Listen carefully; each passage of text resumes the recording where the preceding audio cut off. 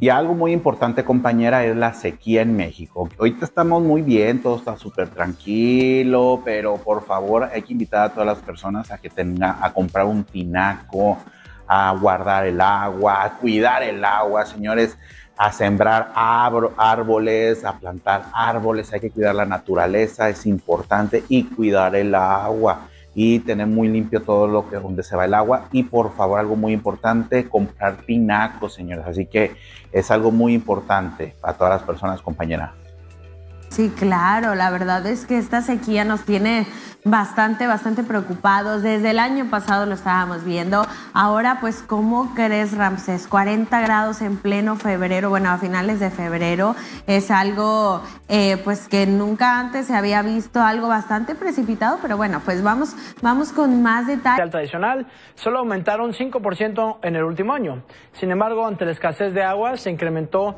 la demanda de estos artículos de almacenamiento, causando también su carencia por lo que algunos distribuidores llegan a vender por 37, 37% más caros en promedio, esto de acuerdo con ferreterías y portales de Internet.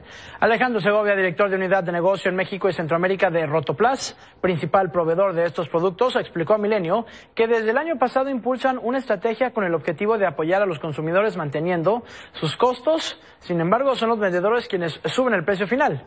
Ante el cambio climático enfatizó que sin agua no hay empresas, escuelas, servicios de gobierno y la vida misma, por lo que remarcó que... ...del monitor de sequía de la Comisión Nacional del Agua, publicado el 5 de febrero, podemos ver que precisamente solo dos estados del país no presentan este problema de sequía, Baja California y Baja California Sur. De ahí, 83% de la península de Yucatán no tiene sequía, se salvan algunas zonas de Oaxaca, Veracruz, Coahuila y Jalisco. En lo que respecta a la Ciudad de México, todas las alcaldías presentan falta de agua, lo mismo que 122 de los 125 municipios.